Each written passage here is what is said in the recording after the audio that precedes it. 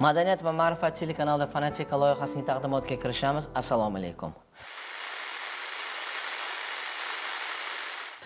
Sizlarga ma'lumki fonetika loyihasi orqali nafaqat xonandalar balkim biz studiyamizga shoir shoiralar va o'z navbatida aynan mana shu oltin fondga hissa qo'shgan insonlarni ham taklif qilishga va ularni qaysidir ma'noda yodga olishga harakat qilamiz. Respublika radiosini oltin fondida ishlagan va o'zini munosib hissasini qo'shib ketgan juda ko'p insonlar bor va respublika radiosining har bir studiyasida bir necha ovoz rejissyorlari ishlagan va ular tomonidan yaratilgan va yozilgan qo'shiqlar ham bugun respublika radiosini oltin fond fondidan o'rin olgan. Va mana shunday insonlardan biri aniqroq qilib ayta olaman e, ustozlarimizdan biri nabijon aka hasanovni bugun yodga olamiz. Aynan mana shu inson e, bir necha qo'shiqlarni yozishga musharraf bo'lganlar va ular tomonidan yozilgan eng chiroyli asarlar eng chiroyli qo'shiqlar bugungi kunda respublika radiosini oltin fondida saqlanmoqda. Nabi hasanov 1935 yilda toshkent shahri minor mahallasida tug'ilgan. Bolalik chog'laridanoq musiqa va texnikaga katta qiziqishi bo'lgani tufayli chang musiqa asbobini o'rganish uchun birinchi son musiqa maktabiga boradi. Xuddi shu vaqtning o'zida pionerlar uyining texnika to'garaklariga muntazam qatnashib boradi. 1953 yilda maktabni bitirgach o'zbekiston konservatoriyasida milliy cholg'ular bo'limida o'qib mohir changchi bo'lib yetishadi. Konservatoriyada tahsil olayotgan davrda esa musiqalarni o'sha davrda mashhur bo'lgan plastinkalarga yozishga qiziqib qoladi va maxsus anjomlarni sotib olib uy sharoitida yozuvlarni amalga oshiradi. Avval asosan turli tabriknoma va she'rlar keyinroq esa musiqalarni yozishga harakat qiladi. 1959 yildan muhiddin qori yoqubov nomidagi o'zbekiston filarmoniyasida sozanda sifatida ish boshlaydi. Ammo 1957 yilda san'atga bo'lgan ishtiyoqi o'zbekiston teleradiokompaniyasiga yetaklaydi. U radio eshittirish va ovoz yozish uyiga ovoz rejissyori sifatida ishga joylashadi va umrining so'nggi damlarigacha shu dargohda ishlaydi. O'zbekiston ovoz rejissyorligi maktabining shakllanishi va rivojlanishida nabi hasanovning o'rni beqiyos. U birinchi bo'lib o'sha davrning mukammal bo'lmagan texnik vositalari orqali ovoz yozishni yo'lga qo'ydi. O'zbekiston xalq artisti turg'un alimatovning turli sozlarda yozilgan barcha musiqalarini birgina cholg'u asbobida ijro etish va yozib olish mumkinligini isbotladi. Nabi hasanov ko'p yillar davomida respublikada davlat ahamiyatiga molik bo'lgan siyosiy ijtimoiy mohiyatga ega yozuvlarning bilimdoni va iqtidorli mutaxassisi sifatida tan olingan. O'z ishiga mas'uliyatli hamkasblari va shogirdlariga talabchan ustoz bo'lgan nabi hasanovning badiiy jamoalar orasidagi e'tibori nihoyatda baland. U yuksak madaniyat o'tkir badiiy did sohibi samimiy inson edi. Butun respublika san'at va madaniyat ahli badiiy jamoalar va shu sohaga daxldor bo'lgan ijodkorlar orasida nabi hasanov nomi iliq so'zlar bilan tilga olinadi. O'zbekiston milliy teleradiokompaniyasi oliy toifali ovoz rejissyori o'zbekistonda xizmat ko'rsatgan madaniyat xodimi shuhrat medali va hurmat belgisi ordeni sohibi nabi hasanov 2006 yilning 26 oktyabrida bu dunyoni tark etdi. Shu munosabat bilan fonetika loyihasining bugungi mehmoni ularning nevaralari pedagogika fanlari bo'yicha falsafa doktori dotsent xonzoda ibragimova.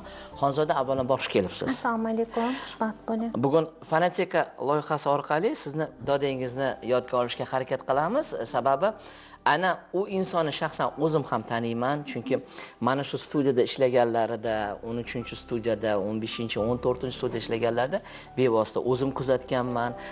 O'zimni ishim tushganda albatta oldilari kelganimda ishlarini hal qilib berganlar va o'zim guvohi bo'lganman. Bugun afsus oramizda yo'q o'zbekiston xalq artistlari xizmat ko'rsatgan artistlarni ham qo'shiqlarini studiyada bevosita yozganlar. Dodingizni bugun qanday xotirlaysiz?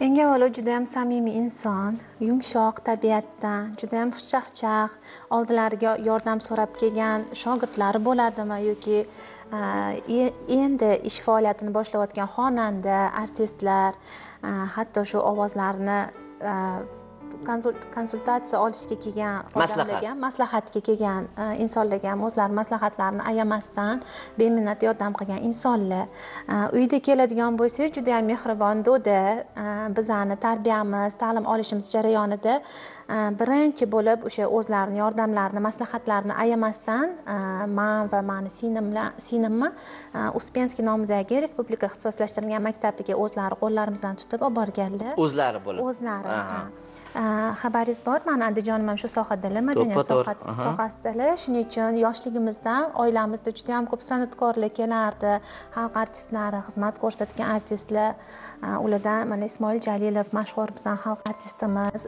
ustozimiz ham bo'ladilar konservatoriyada dars berganlar Muyassar razzoqova zamira suyunova judayam ularni siz hozir qaysidir ma'noda dodangizni faoliyatini davom ettiryapsiz to'g'rimi? Ha, man o'zim fanlardan dars beraman ya'ni hozir ilmiy ish yoqlagan fanim pedagogika yo'nalishi bo'yicha lekin o'zim uspenskiy nomidagi respublika ixtisoslashtirilgan maktab va litseyni tamomlab o'zbekiston davlat konservatoriyasida o'qidim bakalavr magistratura bos- bosqichini tamomladim keyin doktorantura bosqichini tamomladim.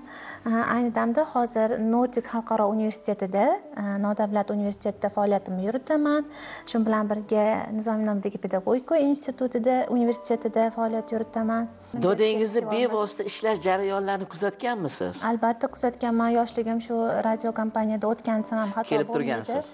ha chunki xabaringiz bor. Uspenskiy maktabi juda yam yaqin bu yoqqa o'shaning uchun kelib yozayotgan a, zapis jarayonlarini kuzatardim. Hatto shunaqa paytlar bo'lgan kechgacha zapis bo'lganda shu yerda uxlab qolib keyin birga uyga ketadigan paytlarimiz ham juda yam ko'p bo'lgan. Xonandalarni ko'rganmisiz? Ko'rganman. Ish jarayonida bahs bo'lganmi? Dodangiz bilan san'atkor o'rtasida guvoh bo'lganmisiz ko'p san'atkorlar do'damlar bergan maslahatni yoki tanbeh deb aytolmayman lekin o'sha maslahat ular tomonidan berilgan yaxshi nasihatni to'g'ri qabul qilishadi. Chunki yuqorida takrorlab o'tdim do'damlar juda yam yumshoq xarakter egasi bo'lganlar.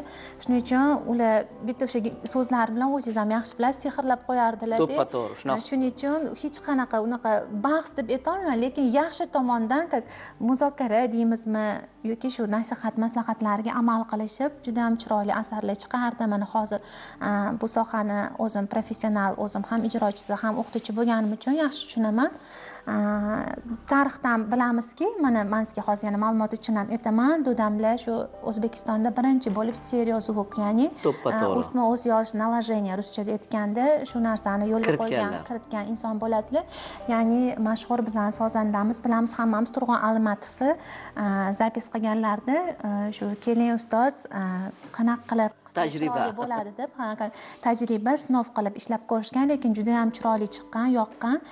Yana bitta narsani aytib o'taman.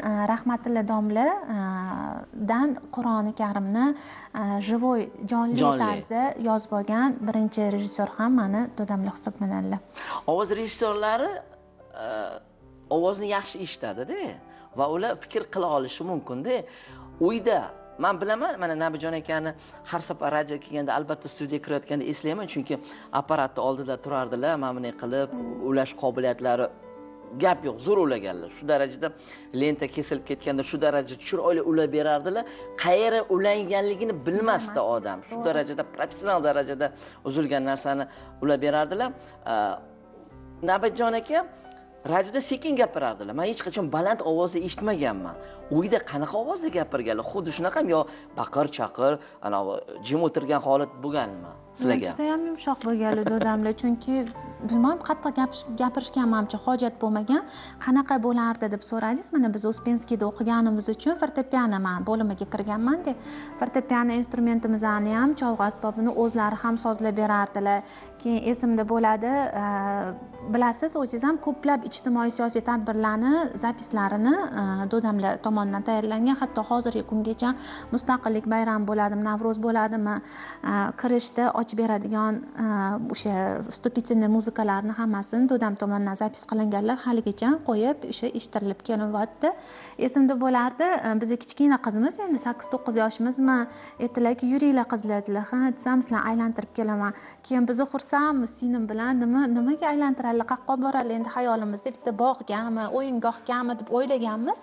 Borsaki bizani tog'u toshlardan oqayotgan soy bo'yiga olib borib mikrofon keyin unaqa apparatchi endi nomlanishini bilmayman o'shani qo'yib suvni shildirashini eshitib eshitib keyin undan keyin aytganingizdek звукорежиссер bo'lib абсолютно слух ya'ni judayam eshitish qobiliyati. Eshitish qobiliyatlari judayam kuchli bo'lgan. kuchli e, eng oliy darajada bo'lgan e, o'shaning uchun eshitib suvlarni ovozi toshlarni o'zlari shildiratib hatto kerak bo'lsa piyolalarni bir biriga urib shu qaysidir aynan ovoz yozish jarayoni uchun kerak bo'lgan narsalarni uyda tayyorlab yoki erinmasdan borib tayyorlab ham kelib shunaqa yozib olib kelardilar kasblarini sevardilar. Judayam sevardilar. Man ertalab kelardim manimcha hammadan oldin studiyada o'tirardilar. man to'g'risini aytganda mana shu insonni suhbatini olganimdan mana shu insonni bevosita ko'rganimdan allohga shukur xursandman to'g'risi. Chunki man a, esimda bor a, bir suhbat yozganimizda ya'ni o'sha paytda a, rulon bo'lgan katta rulonlar o'rtasidan tushib ketgan. Endi uni tasavvur qiling. Uni to'g'ridan to'g'ri efir ketyapti. Lekin a, mana shu ustoz nabijon aka shu darajada biza do'dirab qoldi. Lekin u kishi shu darajada xotirjam. To'xta o'zingni bos. Hozir man chiroyli qilib beraman sanga muammo bo'lmaydi deganda man qoyil qolganman. Endi hozir e, biza respublika radiosini oltin fondiga tushsak nabijon aka tomonidan juda ko'p narsalar yozilgan. Deyarli. 90% desangiz deyarli to'qson foiz desak xato bo'lmaydi. Haqiqatdan shunaqa. Mana qarang e, turg'un alimatov deyarli barcha musiqalari aynan ustoz tomonidan yozilgan. Endi qarang bu yerda hozir man e, ro'yxatni mm, birma bir ko'zdan kechirganda xalq artistlarini deyarli eng zo'r hit qo'shiqlari. To'g'ri. hit qo'shiqlari misol uchun ilyos mallayev halima nosirova e, sultonposhsha udayeva oqilon tavakkal qodirov fasl bahor e, aytaylik o'sha muhabbat shamayevaning ko'chalar qo'shig'i. Butun mana avloddan avlodga o'tib kelayotgan qo'shiq. Hattoki e, yulduz usmonovani e, hamroz bilan nastarin qo'shiqlari ham aynan ustoz tomonidan yozilgan. Buni ro'yxati juda katta. Deyarli hamma hit qo'shiqlar aynan ustoz tomonidan yozilgan. Endi har zamonda radioda berganda dodangizni qanchalik eslaysiz? Yaxshi savol berdingiz. Yaqinda bundan ikki yil oldin ilmiy ishlarimni jarayonida yurganimda dodam haqida bitta ko'rsatuv tayyorlashga muvaffaq bo'ldik televideniya jurnalistlari dilbar jabborova tomonidan soyuz kompozitorov ya'ni bastakorlar Bastakor uyushmasi. uyushmasiga borib intervyu olindi. O'shanda ham juda yam ko'p ma'lumotlar berdim. Dodamlar tomonidan yozilgan asarlar haqida rustam abdullayev kabi mashhur kompozitorlar juda yam yaxshi iliq fikrlar. bildirishdi juda yam xursand bo'ldim eshitib shunaqa insonni man avlodi ekanimdan juda yam baxtli faxrlanaman shular tomonidan mana shunchalik mehr berib bizga ta'lim berilganki mana musiqa tomonidan musiqani davom ettirayotganimdan juda yam baxtiyor insonman. Hozir imkoniyatdan foydalangan holda yana respublika radiosini va o'zbekiston milliy teleradiokompaniyasini kompaniyasini arxivida saqlanayotgan aynan ustoz tomonidan yozilgan o'sha qo'shiqlarni ketma ketligini e'tiboringizga havola etamiz. So'ngra suhbatimizni davom ettiramiz.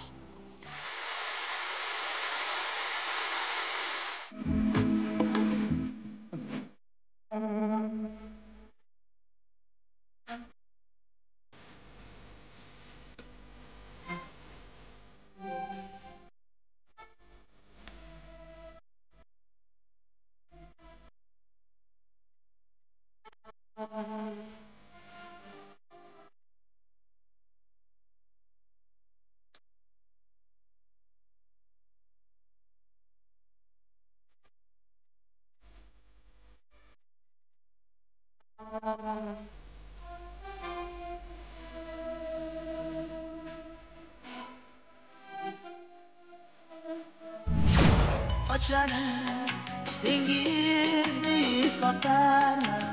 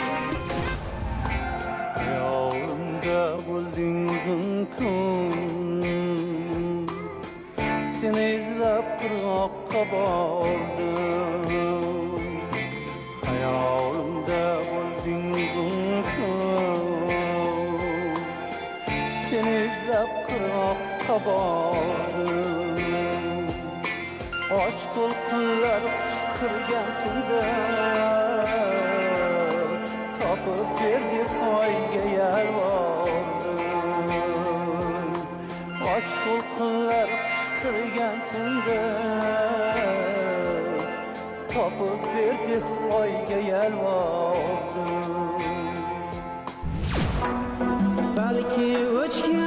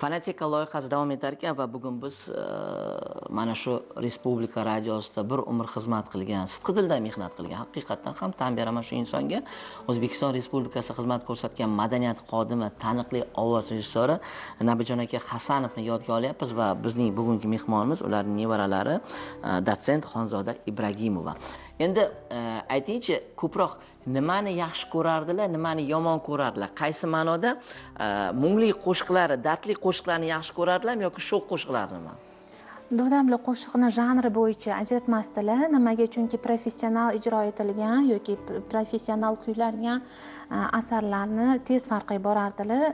Judayam chiroyli darajada ijrosi bo'lsa har doim eshitib qoyil deb qo'yardilar. Uyda muhokama bo'lardimi bo'lmasmi misol uchun aytaylik bugun mana yulduz usmonovani yozdim sherali jo'rayevni yozdim muhriddin xoliqovni yozdim.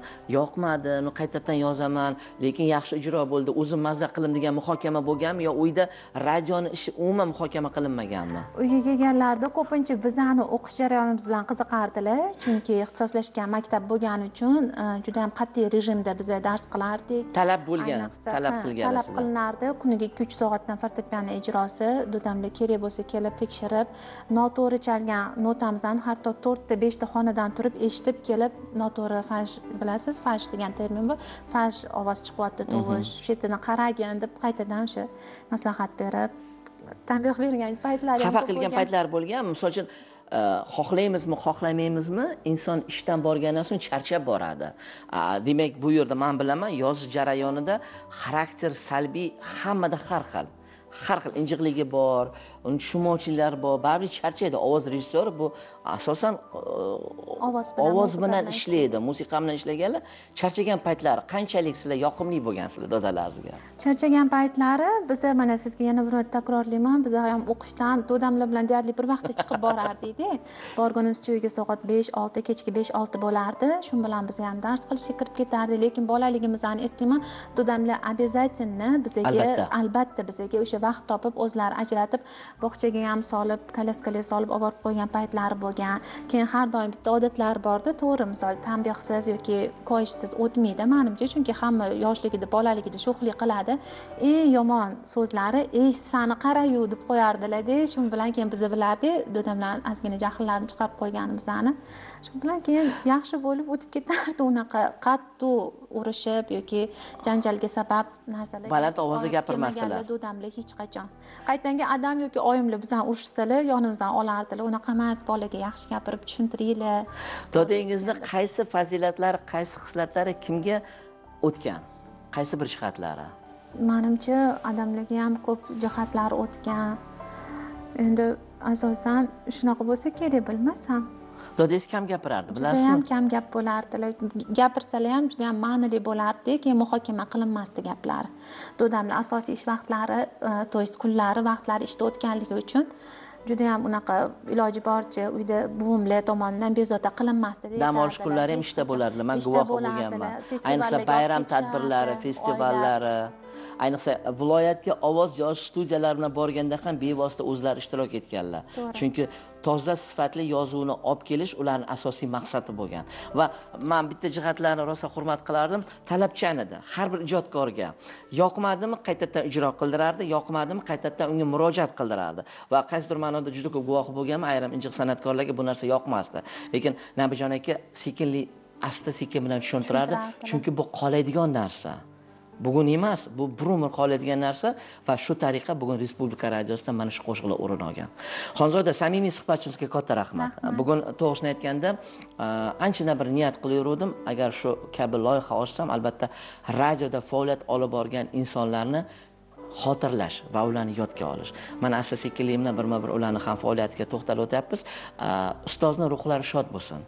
Va biz har safar garchi bugun ular oramizda yo'q lekin mana shu ular yozgan qo'shiqlar efirga ketayotganda albatta har bir insonni ko'z o'ngida mana shu inson o'tadi. Hattoki xonandalarni ham ko'zidan o'tadi. И bu qo'shig'im nabijon aka tomonidan yozilgandi.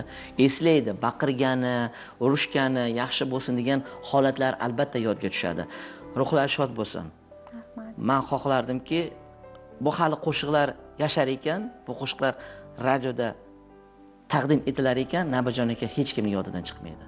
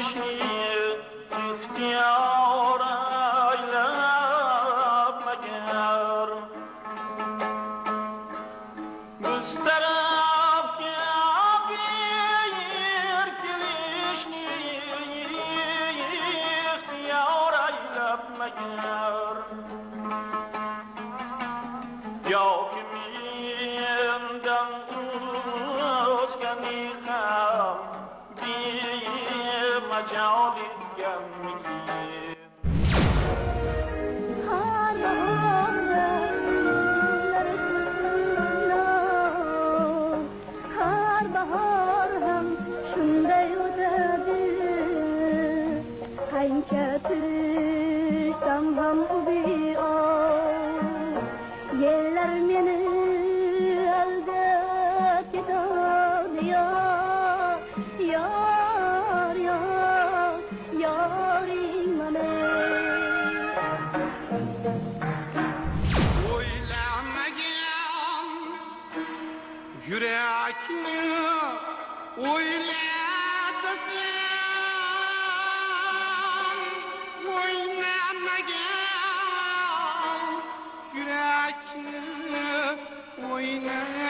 oynatasan Yığlanmagan dillarni yig'latasan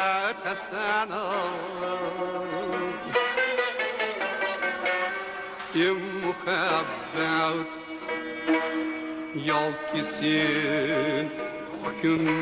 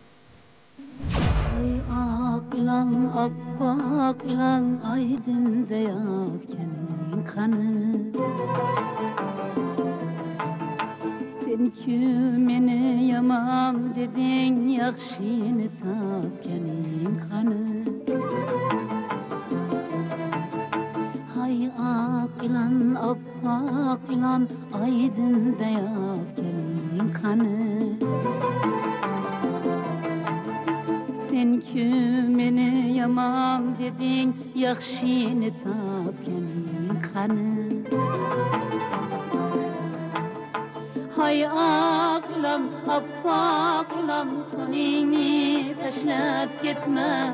Olib olib menga yomon kuningni tashlab ketma. Hoy oqlom oppoqlom qo'lingni tashlab ketma.